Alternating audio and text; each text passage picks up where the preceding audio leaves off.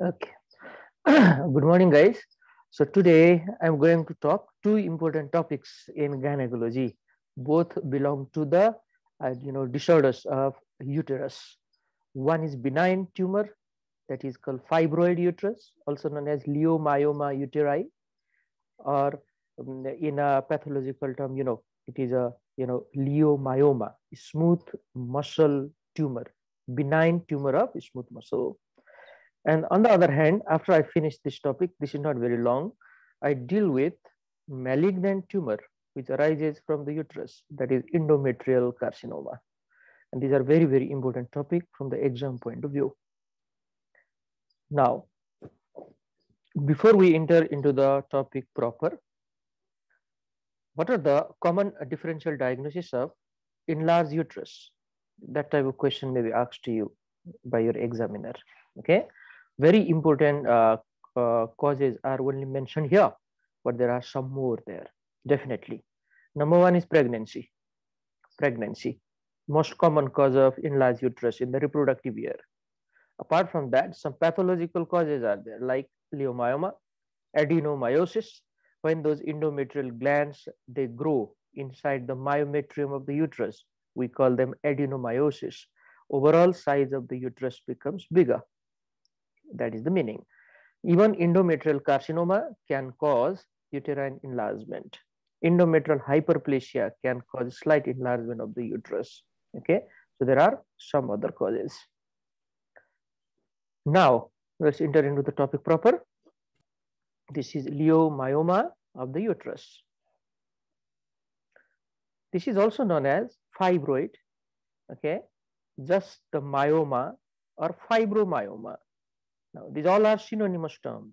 So, in if you refer to different textbook, they may have mentioned these name differently, but the meaning is same.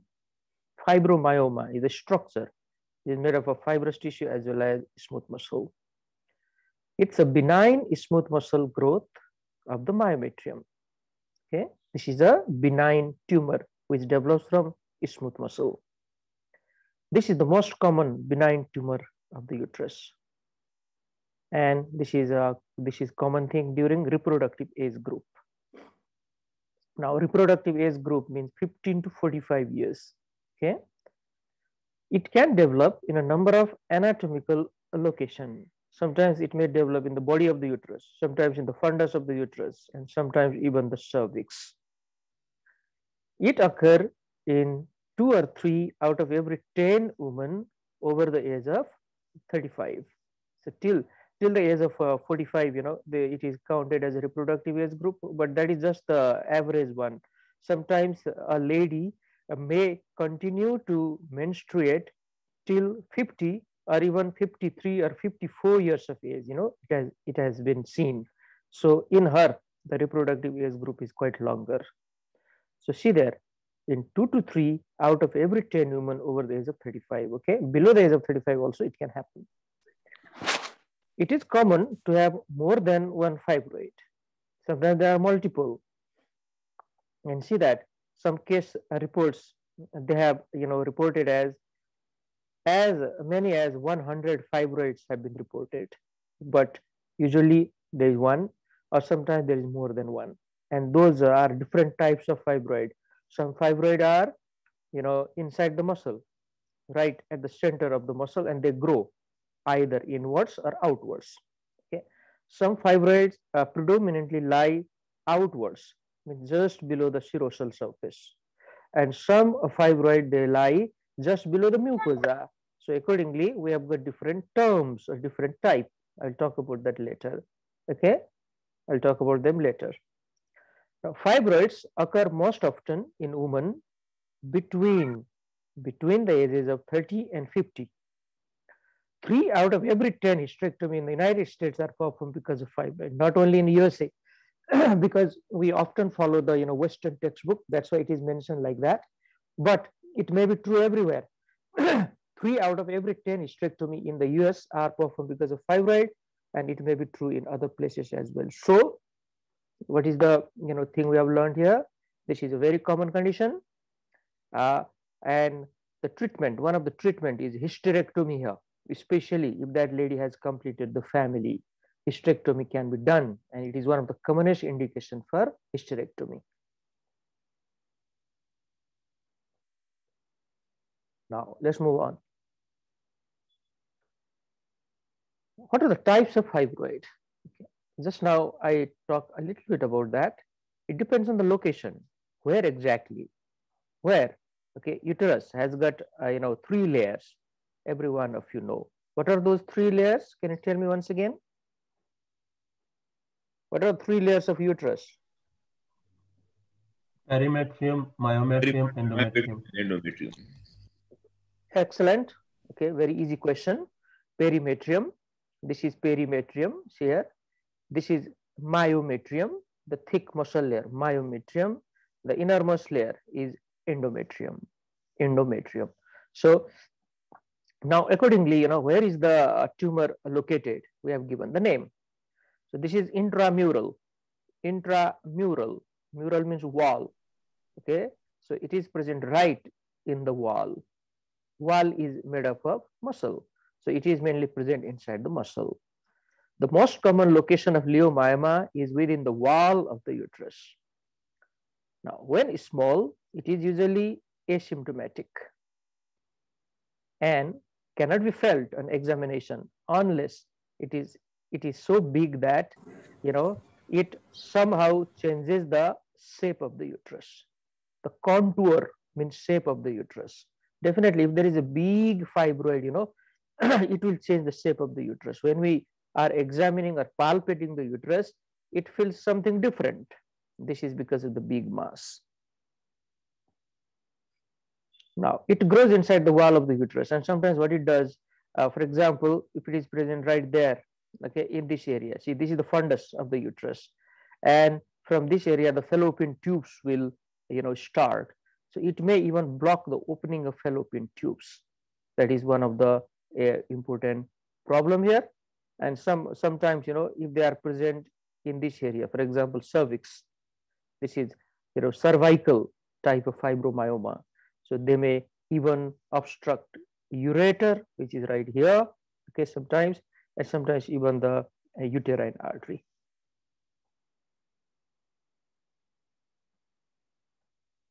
The second type is subserosal. Subserosal. Now, serosa is the outermost layer. Okay, serosa is peritoneum actually. So, subserosal, right below the uh, uh, serosa or peritoneum, but towards the muscle. So, it grow outwards from the wall of the uterus into the abdominal cavity. That is subserosal. It is located beneath the uterine mucus serosa. Okay, that's why subserosal. And as they grow, they disturb the external contour of the uterus, causing firm, non-tender asymmetry, which can be detected during examination. This is always non-tender. Depending on the location, they can put pressure on the urinary bladder, urinary bladder, rectum, or ureter. Okay, so the nearby structures can be compressed by this solid mass. These are the benign tumor. So they may cause different problem. Now, one of the important point which is asked in your exam is parasitic fibroid. Now see there, they can be pedunculated, means they have a stalk. And sometimes what happens, that stalk is detached, okay, from the uterus. Then these uh, fibroid, they attach to some other intra-abdominal organ and they establish blood supply from that organ and continue to grow. This is known as parasitic fibroid. So let me repeat again. In the beginning, they have peduncle or stalk. They attach to the uterus by that stalk. Okay. Over a period of time, what happens? They detach themselves from that stalk and attach to the another abdominal organ. The example are written here: omentum, or the mesentery. And then they continue to receive blood supply from that particular organ where they attach again and grow. This is known as parasitic fibroid. Now see there. So this is a, a picture of uh, subserosal myoma.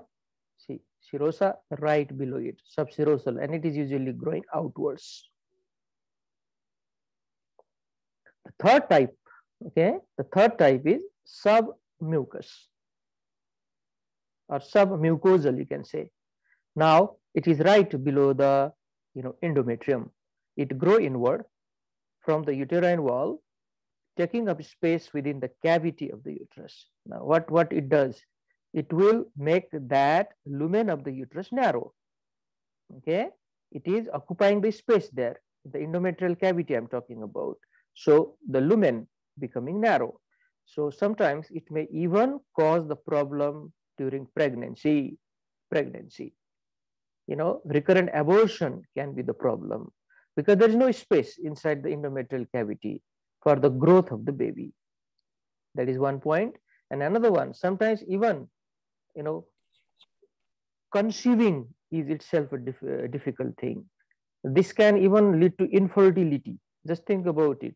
Okay, uh, overall uh, leiomyoma I'm talking about, if the leiomyoma is blocking the opening of fallopian tube, now this is a big problem. Even continuation of pregnancy can be a problem here.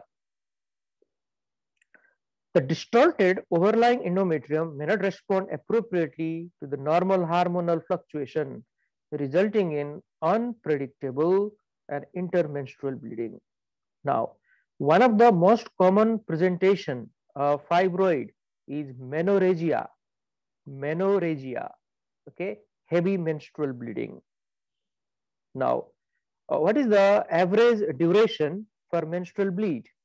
What is the average period or duration in every cycle? Sir, five to seven days. Sir, three to five. Yeah, I agree with you, you know, because Three to five days. exactly different textbook mention it differently three to five days okay or a three to seven days you can say but average is around four days they say four days usually many many ladies you know they bleed around four days and from the fifth day it stops but your answer is fine. Now what will happen? Please mute yourself. Now see there that is the most common presentation heavy bleeding. But sometimes what happens in the middle of the cycle also she starts to bleed okay? Or in the late cycle she starts to bleed.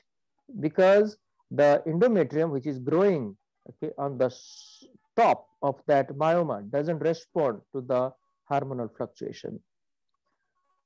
See that? There are different types of bleeding just try to remember the term here uh, they are menorrhagia which is heavy menses metrorrhagia irregular bleeding in between the menses. That's what we are talking about. You know, in the middle of the cycle or a little, little bit early period than the another menses, metrorrhagia. And menometrorrhagia means both.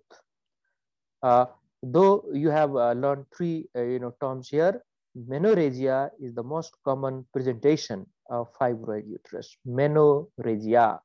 Now, let me say a little bit about it how the lady presents to the hospital. She will say she is passing a lot of clots, a lot of clot. Clot means it's heavy bleeding. Clot is never normal in the you know normal menses or normal period. Whenever she passes clot, that means it's a heavy bleeding. Okay, this is one.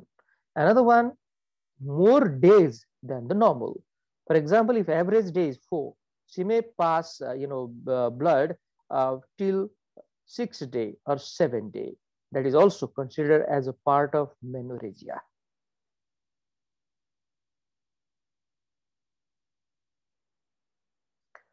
Now, this is, see this, this is submucosal fibroid, submucosal, right below the mucosa or endometrium.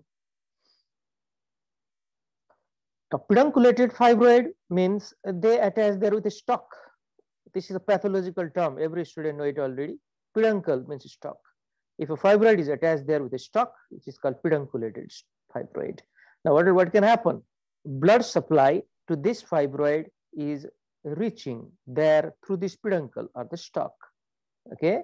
So, if this, uh, you know, fibroid get detached from this stalk, sometimes it may die or it may degenerate. It may degenerate. That is one possibility. Now, another one, especially in the outer parts, not in inside the uterine cavity, but sometimes some some sometimes here, for example, okay, subserosal uh, type of uh, pedunculated fibroid. It may detach completely and then attach again to some other uh, intra-abdominal organ, and then it may grow there again. That is known as parasitic fibroid. Just now we talked about. Now listen carefully. Sometimes what happens? This is a tumor. Every tumor can grow uncontrollably. Okay, it is uncontrollable type of growth. So it may grow very rapidly, but the blood supply which is reaching there may not be enough now. This is a, you know, uh, always, you know, we compare what about the mass and what about the blood supply. So what will happen to this tumor now if blood supply is not enough? Yes, what can happen? Uh, Atrophy. ischemia. Atrophy. Ischemia. ischemia. Ischemia. Ischemia. Very good. Okay, so you already know the proper term. In the it is known as ischemia, and later on it may atrophy. If the ischemia is uh, you know prolonged or chronic, it may atrophy or become small in size. And sometimes it may get you know necrosis. There is a death of the you know tissues there, and sometimes it may bleed also. Okay, sometimes it may degenerate. So because of this point, there are so many complications of fibroid, which we'll discuss later on. Now, this is a you know beautiful picture which is uh, telling us a lot of things. So I want all students to focus here, please. This is a schematic diagram of the internal genital tract of the female. So here are fallopian tubes. You can see here fallopian tubes. This is ovary. Okay. There is another ovary. This is fimbriated end of the fallopian tube. There is ampulla. Okay. This is ampulla is isthmus and this is the intramural part. So these are the different fibroid which can which, which can exist. This is you know a pedunculated fibroid. It may get detached and develop into the parasitic fibroid very rarely. Uh, this is subserosal right below the serosa. It can uh, you know grow to become a very big mass. And this is asymmetrical type of enlargement of the uterus. Now see this, this is known as submucosal. It is growing inside the uterine cavity. Okay, another submucosal again growing towards the lumen. This is intramural fibroid right at the center. So these are the different types. Now let's talk about the natural history of the uterine fibroid. What will happen to them? Changes in size are dependent on the reproductive life stage of the woman. Now, one point every one of you know already, okay? This is not a new fact. These leiomyoma are hormonal dependent tumor. They, uh, you know, rely or depend on estrogen for their growth. If estrogen supply is good enough, they can grow consistently. If we cut the estrogen supply, okay, this tumor will get atrophied. They become small. Never forget this. That's why they are common in reproductive age group where there is estrogen presence. And this is very common in pregnancy because of the increased level of estrogen. Whereas after menopause, even if we do not treat them, you know, this tumor will shrink in size because there is no more estrogen after that. A little bit of estrogen is present because of the conversion uh, from androgen. That is a different thing, but the major amount of estrogen is not present there. So this is a very, very important fact.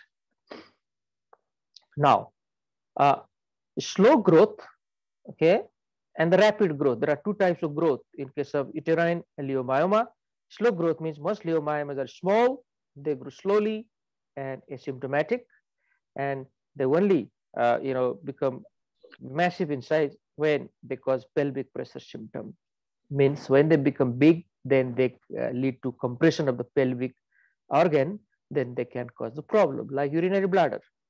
That is a perfect example.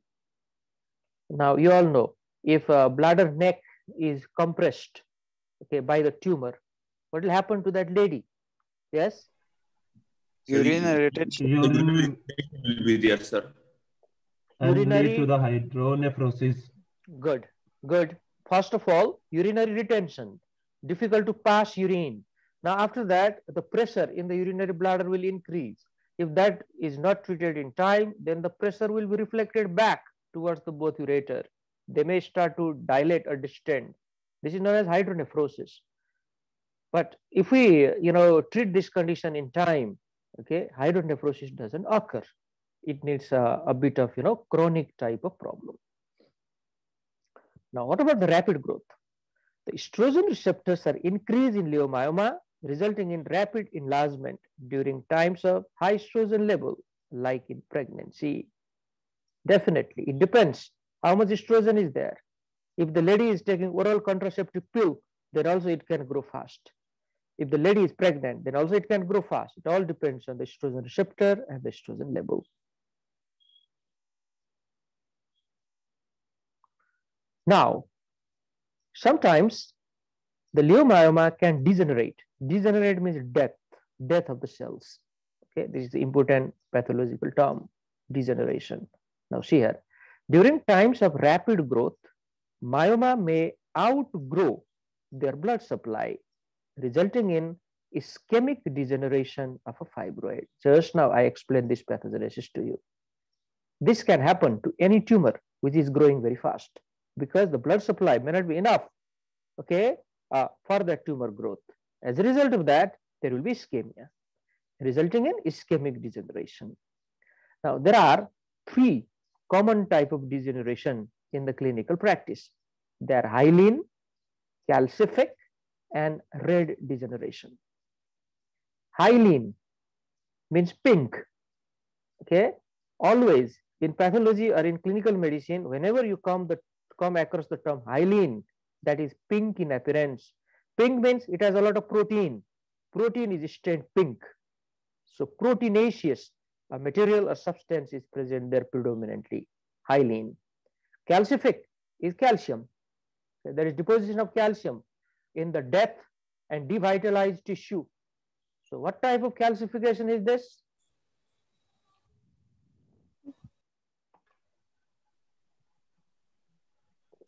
There are two Sir, types of dystrophic, dystrophic calcification. Dystrophic calcification, sir. excellent. Excellent. Okay this is the you know thing which you have studied long time ago in pathology. Dystrophic calcification. Another is called metastatic calcification. Now metastatic calcification occur when there is more calcium level in the blood and it can just deposit in different organ or tissues you know. That is different thing if calcium is normal level but still get deposited in the death and dying or devitalized tissue. We call that dystrophic calcification. This is one of the example here.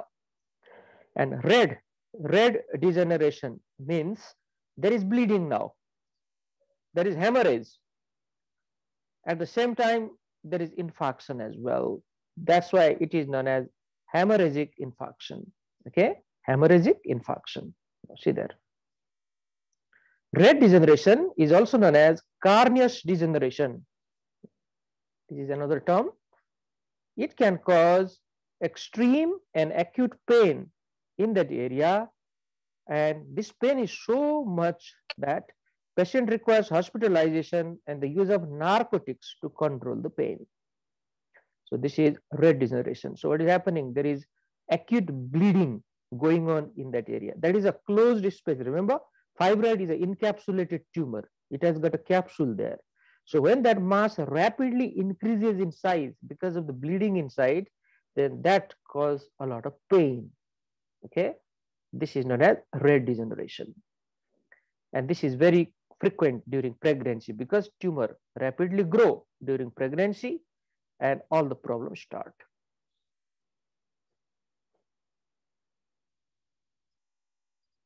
Now, another type or part of the natural history is shrinkage. Shrinkage means atrophy. When the estrogen level fall, okay, then the tumor will shrink in size. So this is very easy to understand. So definitely it will occur after menopause now. Menopause, okay, cessation of menstruation, permanent cessation. So after that, the amount of estrogen is very, very less. That's why there is atrophy of the tumor. But sometimes what happens, we utilize this principle for the treatment also. Now, please pay attention. This is very easy concept for you. Now, what I tell just now, if we cut the level of estrogen in the body, okay, the tumor will shrink in size. And we can do that by using certain drugs. Okay, this is medically reduced level of estrogen and that is done by the use of gonadotropin releasing hormone GnRH agonist. Okay? GnRH agonist. Now you may be confused a little bit. What is the function of GnRH actually? They cause increased release of FSH and LH that is the function of GnRH and FSH and LH they act on the gonad. In this case we are talking about female. So let's talk about ovary. They act on the ovary and LH especially, it leads to release of estrogen. Then how come this GnRH agonist will cause decrease level of estrogen? Anybody can tell me what is the mechanism? So when we uh, do, uh, do not give the uh, uh gonadotropin releasing hormone and we give antagonist, it does not stimulate the anterior pituitary gland and uh, there is no release of the FSH and LH, there is no production of the estrogen from the gonads, from the ovary in the females. Okay.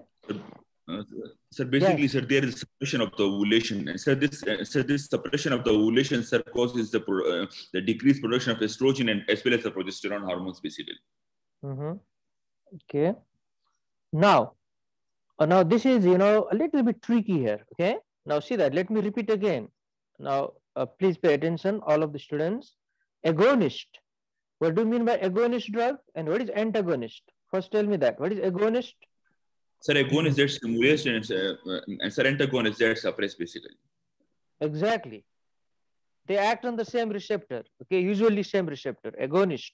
They act on the same receptor and they stimulate the receptor for more functioning. That is agonist. Antagonist means they are blocking the receptor. So here, please pay attention. These are agonist drug. They are not antagonists. See this? They are gonadotropin releasing hormone agonist. So logically, they should negative, exactly negative uh, feedbacks. Yeah, logically they should uh, stimulate, isn't it? They should uh, stimulate the release of more FSH and Ls. Now, what happens here is if we continue to give this medicine, you know, they are actually normally they are having pulsatile release. There is pulses of release of GnRH from the hypothalamus. Pulse means on and off type of release okay that is a normal uh, secretion process for them. But what we do here we give certain agonist drug which exactly act like GnRH okay? And if we continue to give this medicine after some time you know what happens?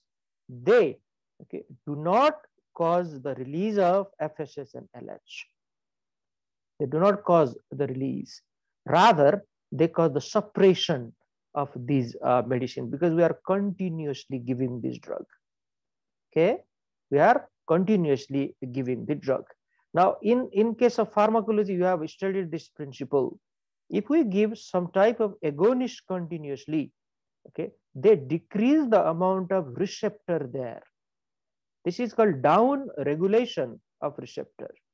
Whereas if i give antagonist for a certain period of time it will up regulate the number of receptor there. So it is all about down regulation of the receptor.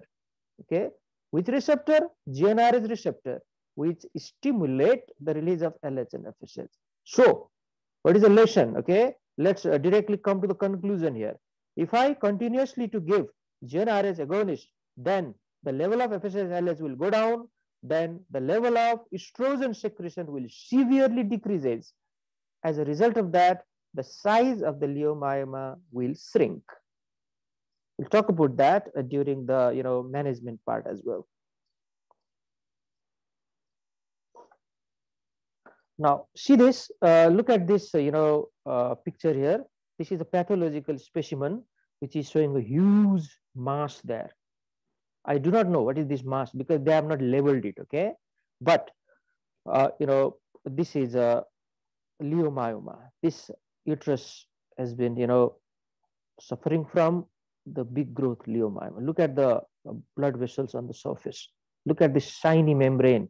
This is probably the peritoneum which is attached on the surface. And another important thing, look at the distortion of the shape of the uterus. Okay, it is severely distorted. This is the disturbance in contour of the uterus. Now, see this, it has been removed, the mass, okay, completely removed. So this is a tumor. This is another, you know, uh, hysterectomy uh, specimen, which is showing the different uh, types of leiomyoma. Look at these masses here.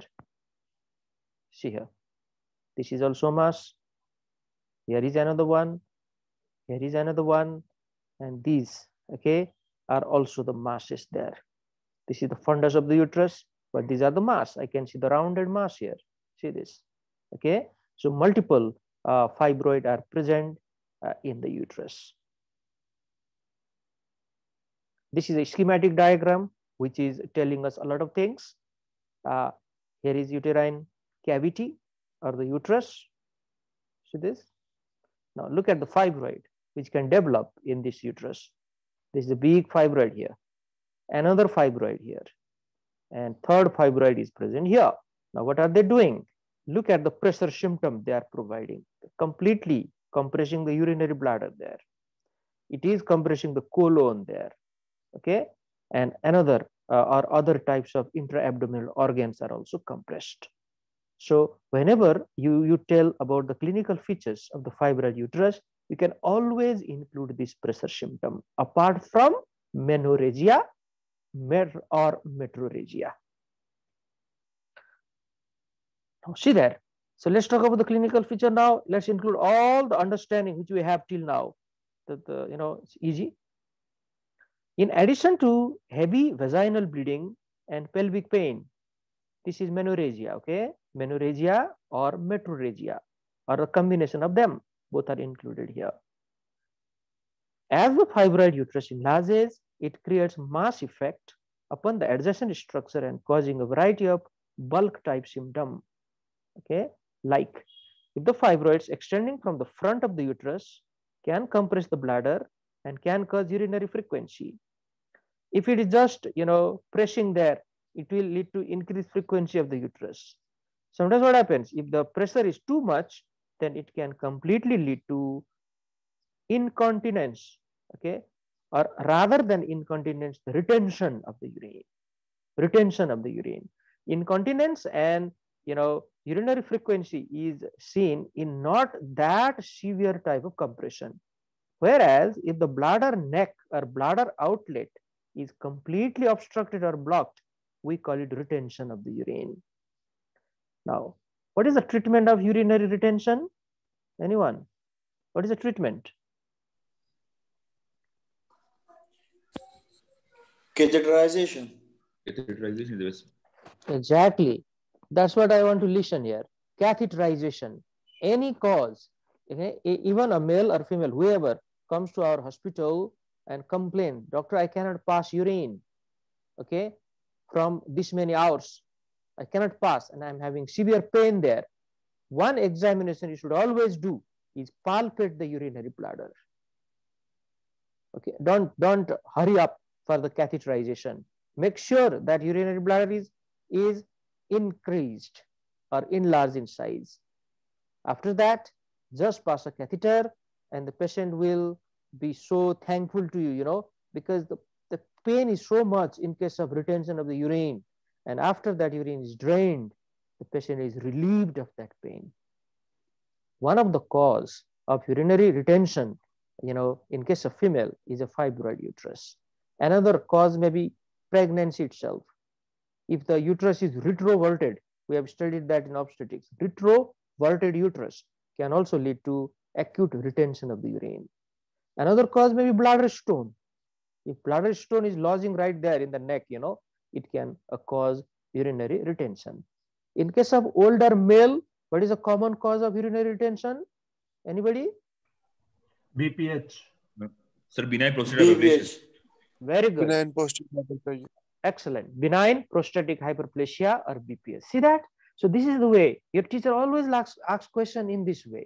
Though we are talking gynecology now, But let's not forget, okay, we are studying MBBS and this is the way to remember.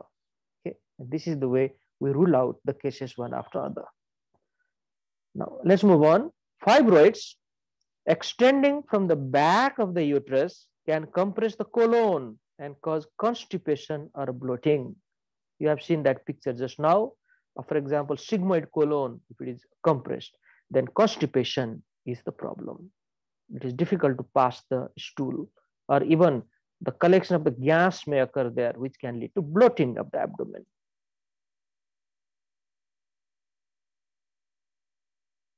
Now, some other problem, if it compresses the nerves, then what will happen? See this, nerves that exit the lower spinal canal can be compressed, which can lead to low back pain and leg pain. This is known as sciatica. Okay, the sciatica means it is a compression of the roots of sciatic nerve or the trunk of the sciatic nerve itself. Now, what has happened if sciatic nerve is compressed? You know, sciatic nerve is the thickest nerve of our body. Remember that. It has got two components, common peroneal and the tibial. In the beginning, it is not divided like that. But still, you know, if I look very carefully in that thick nerve, though these two components are attached with each other, I can still differentiate them. Yes, this is a tibial component and this is a common peroneal component, but they have not still divided. They divide way down when there is the popliteal fossa. If this sciatic nerve is compressed by any masses, like prolapse intervertebral disc, PIVD we say, any tumor like this, okay, any trauma, something like that, then there is a shooting type of pain which develops on our back and it is radiating towards the lower limb. This is known as sciatica. Now, another problem may be when the uterus enlarges enough, it can push outward on the abdominal wall, causing abdominal distortion and in some cases give the appearance of being pregnant. It just looks bigger in size. And in the reproductive age group, if the abdomen is bigger, we can think of pregnancy. Okay, but we need to confirm it. And another one, it can also cause pain during sexual intercourse. This is known as dyspareunia. So these are all the features of pressure symptom or compression symptoms caused by fibroid.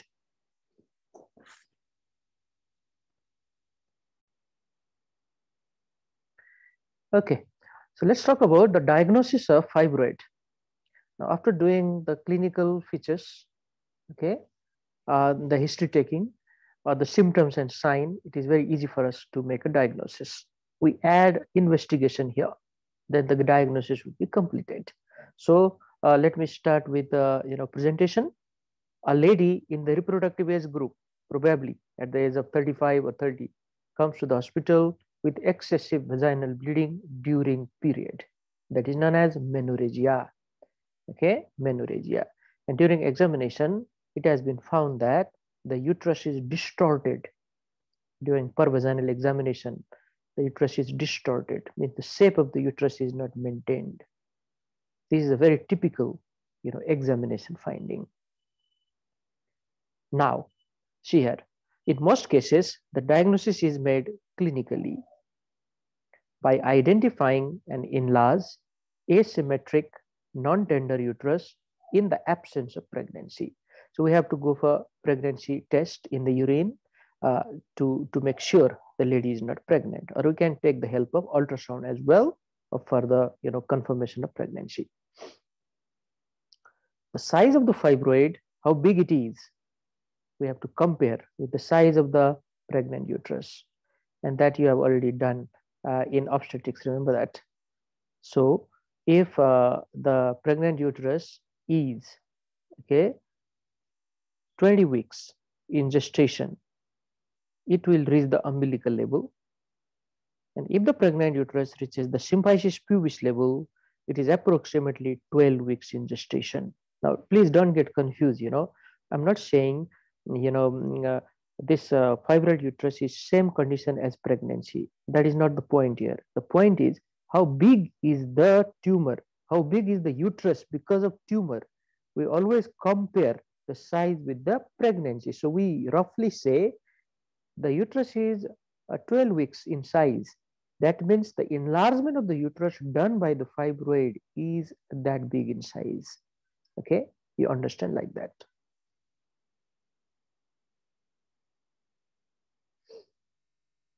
Let's move on. Other, you know, investigation we like to do are ultrasound, okay, which is known as sonography or ultrasonography. It can image a large intramural or subserosal myoma. It can confirm how what is the size and where are they. Another part of ultrasonography or sonography is called saline infusion sonography.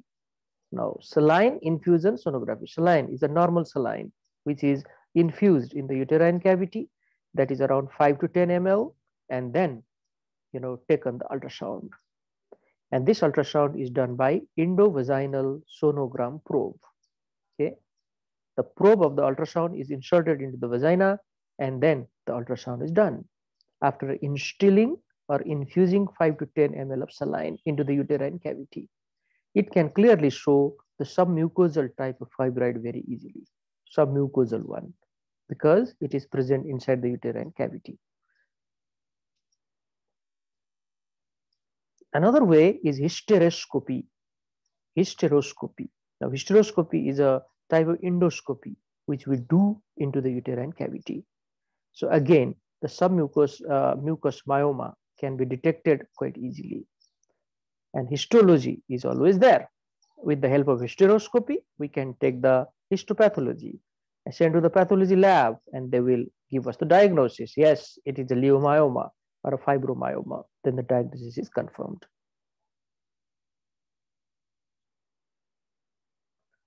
Now, all of you, please focus on this, uh, you know, ultrasound sonographic picture. This is known as saline ultrasonography. Okay, saline ultrasonography, which is demonstrating an intracavitary leiomyoma. This is leiomyoma. This is leiomyoma, and this is the saline which is infused. So there is a slight density difference you can see there. Okay. So this is how the diagnosis is done with the help of saline ultrasound. Now, after the diagnosis, let's talk about the management. How we manage a case of leiomyoma. Now, one important point you have to understand here is if the tumor size are quite small, if they do not, uh, you know, cause a lot of clinical problem, then we can observe them you do not uh, really need to remove them. So observation is a part of management here. So most leiomyoma can be managed conservatively and followed expectantly with regular pelvic examination. But constant follow-up is necessary. We, we ask that lady to come to the hospital probably every few months, you know, just to make sure how big is the uh, fibroid uterus. So during that time, maybe we repeat the ultrasound and uh, measure the size. Another way of managing is pre-surgical shrinkage. Now, you have planned for surgery, but before the surgery, you want to make sure the tumor has become smaller, and that is done by certain drugs. And this is known as pre-surgical shrinkage. Now, just before the break, we talk about GnRH analog therapy, okay, or GnRH agonist therapy. Now see here, after three to six months of GnRH analog therapy, what happened now? It will result in hypoestrogenic state or the level of estrogen is very less in the body. So because of this, there is 60 to 70% reduction in size of the fibroid. Now, uh, during surgery, it can be easily removed because the vascularity of the fibroid is less. There is less chance of bleeding. There's less chance of complication during surgery. This is the whole idea. GnRH, okay, gonadotropin releasing hormone analog therapy. Uh, leuprolide is one of the you know common drug which is used here. Okay, leuprolide. This is a trade name. Lupron is is used. Okay. Now, one uh, common question which must come in your mind is what happens if we stop this leuprolide? Is there permanent, you know, decrease in estrogen level or not? Now, see here, once the leuprolide is terminated, there will be regrowth of the fibroid within six months because the cycle will start once again. The GnRH will release in a pulsatile fashion. It will lead to secretion of LH and FSH, and then everything will come back into the order. So we need to constantly use this drug if we want to decrease the size. GnRH analog cannot be used for a definite cure but they can be used in the adjuvant setting with surgical therapy, definitely. That's why it is known as pre-surgical shrinkage. If a myomectomy is done, a decrease in size will be associated with decrease in blood loss. And if a hysterectomy is planned, then perhaps a vaginal instead of abdominal hysterectomy can be performed. Now let me make it easy for you. There are two types of surgery here, myomectomy and hysterectomy. Myomectomy means only the myoma or the fibroid is removed. We do not do anything for the uterus or uterus is not removed. Whereas hysterectomy means along with the tumor, the whole uterus is sacrificed. In both cases, if we can decrease the size of that fibroid, then the complication during surgery will be very less. That is decrease in blood loss, okay? Uh, that is definite advantage and there are two types of hysterectomy we, we can do, abdominal and vaginal. Abdominal means you give abdominal incision, okay? You open the abdominal cavity and remove the uterus from there. Whereas vaginal hysterectomy means you do uh, remove the uterus from the vaginal route, okay? So if the uterus, uh, sorry, if the myoma size are shrink or atrophied, then we can even, uh, you know, remove the uterus through the vaginal route. There is no more obstruction now.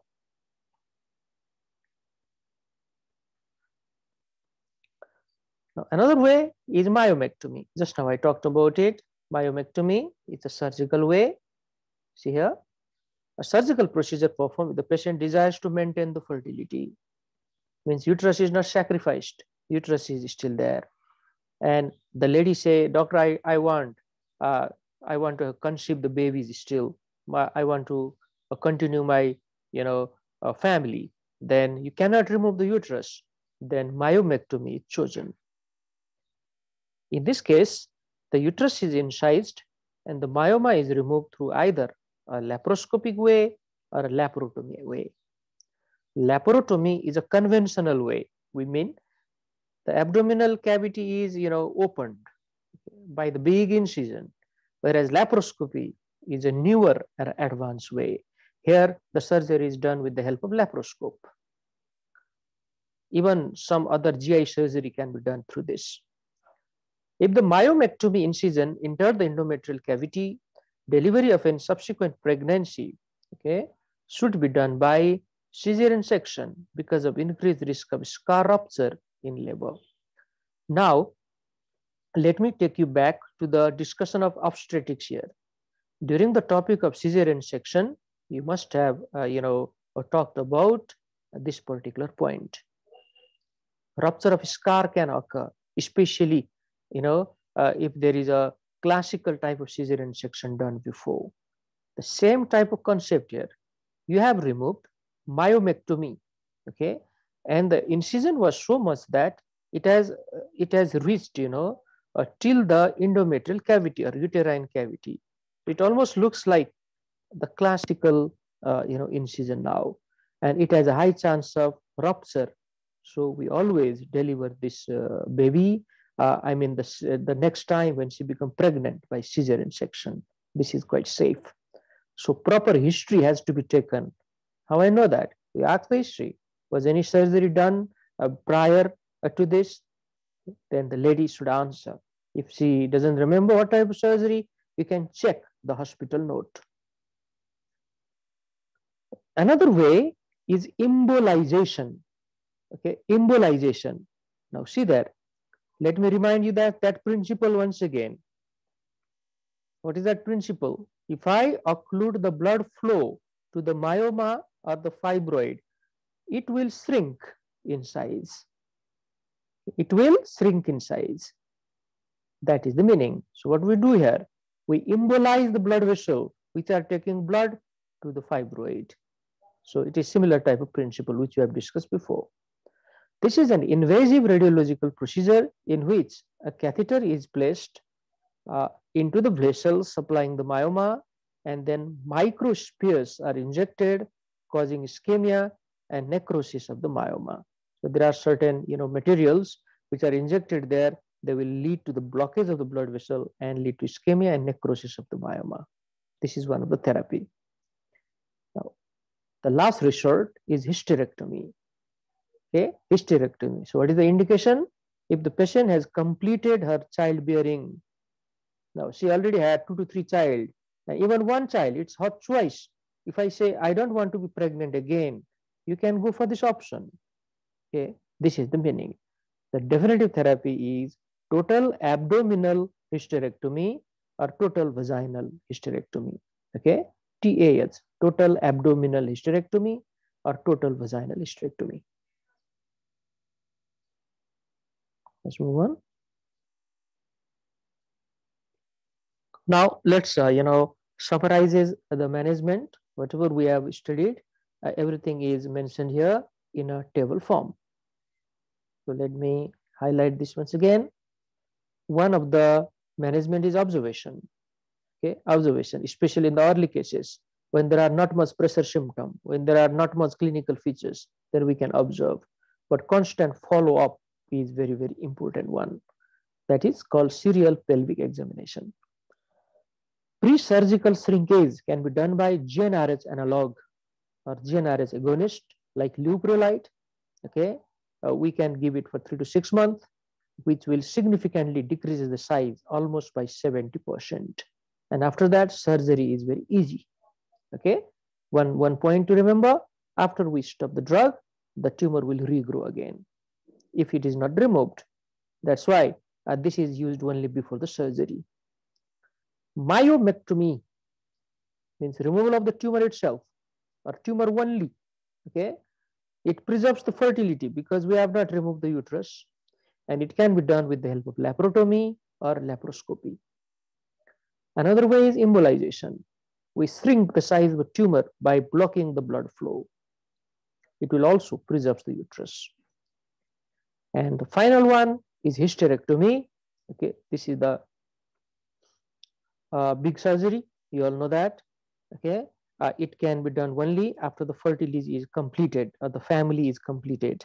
And we can go for total abdominal hysterectomy or total vaginal hysterectomy. Remember one point, if you go for total abdominal hysterectomy, okay, then uh, it would be nice if we shrink the tumor because the chance of bleeding and chance of complication during surgery is very less. Whereas before doing total vaginal hysterectomy, it is the must because if the size is big, that uterus cannot come out through the vaginal route.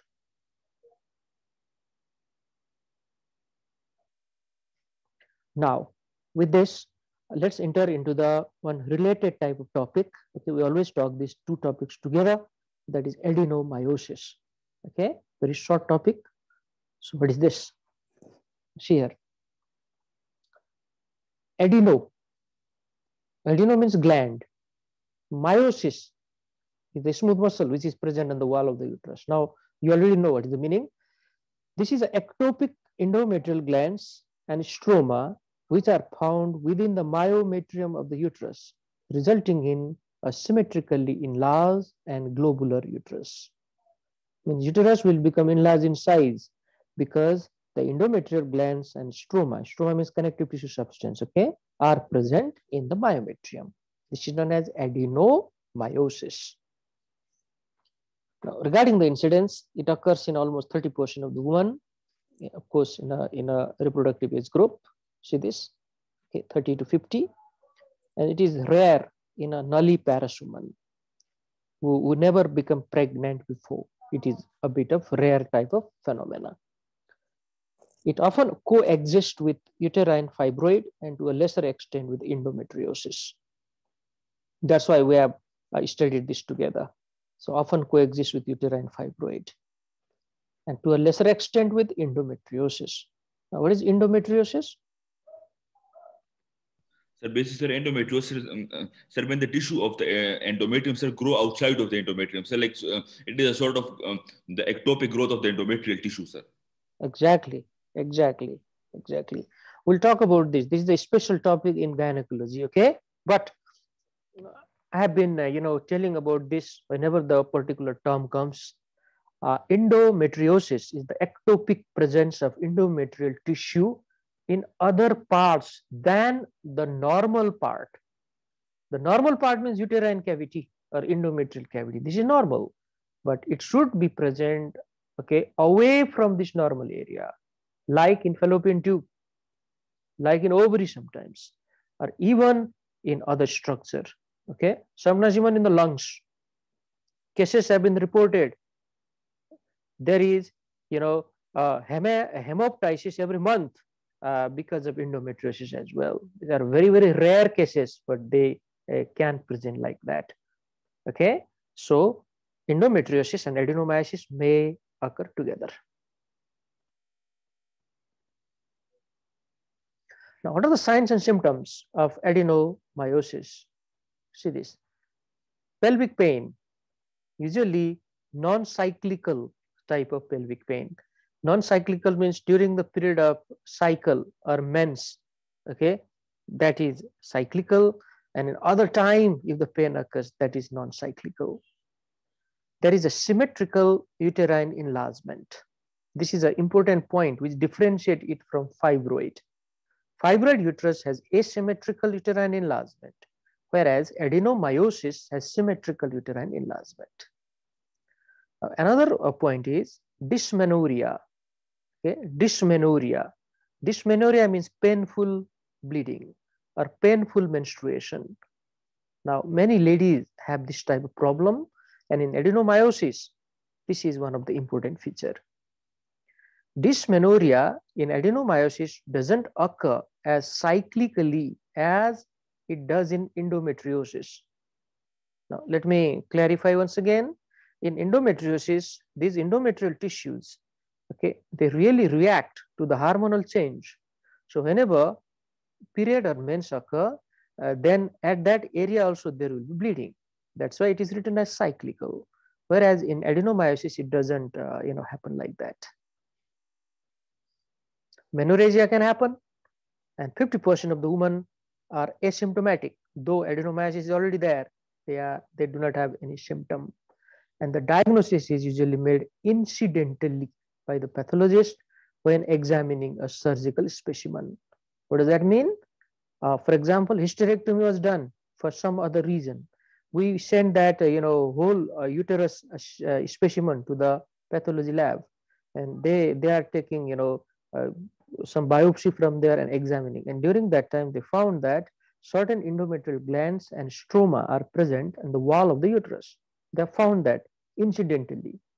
Okay, so that may be the presentation. Now, this picture will tell you a lot of things because it is very easy to understand. See here, a, a single okay structure is present here, which is an adenomyoma. Adenomyoma, multiples, we call it adenomyosis. That's why there is symmetrical enlargement of the uterus in adenomyosis. So globular, diffusely enlarged, symmetrical tender uterus is adenomyosis. Uh, adenomyoma is a localized one. Adenomyosis is the diffuse one, diffuse enlargement of the uterus. Diagnosis is done by either ultrasound or MRI scan. Okay, either ultrasound or MRI scan, and this can differentiate easily between adenomyosis and uterine fibroid. What is the treatment now? See here, there is no proven medical therapy for the treatment. Can you for GnRH agonist or analog NSAID an OCP may be used for pain and bleeding. They somehow help the patient. GnRH agonist will decrease the you know estrogen level NSAID these are used for the uh, to decrease the pain and OCP oral contraceptive pill.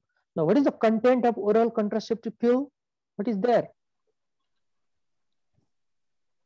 Sir, estrogen and progesterone. Estrogen. plus- Very good. Very good. Excellent. Not only estrogen, okay? Even progesterone is there, and that progesterone is balancing the effect of estrogen there. So oral contraceptive pill, we'll take a class about uh, contraception in gynecology. That's the important part of the lecture series. Uh, okay, and we'll talk uh, in detail about that later on. Hysterectomy is a definite treatment. So if uh, a lot of pain is there, uterus is already significantly enlarged, if the childbearing is complete, means the family is complete, then after taking consent from the lady or family, we can go for hysterectomy. Okay. After that, the confirmation is can be done by histological examination of the specimen. Again, the hysterectomy are of two types, abdominal and vaginal.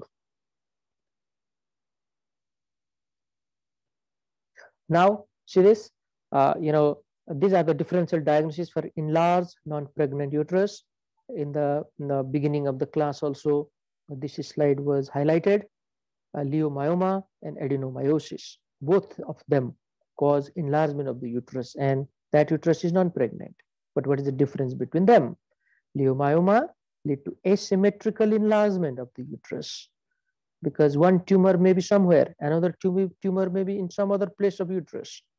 It can grow so fast that it can lead to abnormal contour of the uterus that is called asymmetrical enlargement. Whereas adenomyosis is a diffuse enlargement, a symmetrical enlargement. In leiomyoma, it is form type of enlargement. Okay. In adenomyosis, it is soft, but it is tender in adenomyosis, whereas leiomyoma is non-tender. But there are certain exceptions here. In case of red degeneration, okay, it is very, very painful or tender type of enlargement. Okay, so at the end, I like to uh, request you all to like the video as much as possible, share it among your friends, and subscribe to the channel so that it will encourage me a lot for the future videos and recordings. Thank you so much.